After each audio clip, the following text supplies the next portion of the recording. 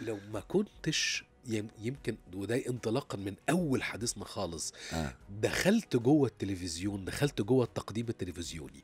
كنت بترسم لنفسك إيه؟ قلت لي لأنه ده عمل لي حاجات حلوة كتير بس قتل عندي حلم. آه. كان إيه؟ الكتابة. أنا كنت بعشق الكتابة. أنا تصدت نفسي عن الكتابة في من فترة الإخوان وحتى الآن عاجز عن الكتابة. أنا كنت ماسك بريد الجمعة وكان بيحقق لي متعة. سبته 2012 لأن وجع البلد كان أكبر من وجع الأشخاص. مم. فسبت بريد الجمعة وخدت أجازة. تفرغت.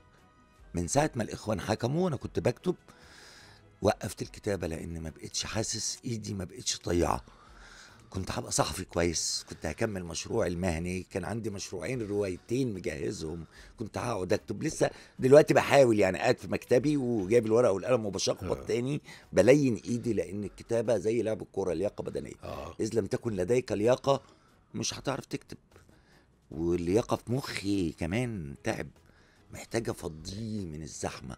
أصعب 11 سنة في حياتي. هما ال 11 سنة اللي فاتوا عليا وعلى أولادي وعلى النقلات وعلى البرد.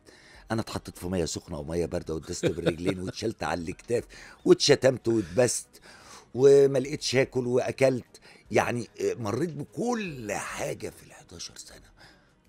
يعني شفت أيام فال 11 سنة عشان تتخفف منهم وتخرج براهم وترجع ترى بعد إنساني مختلف. ده شيء قاسي جدا صعب.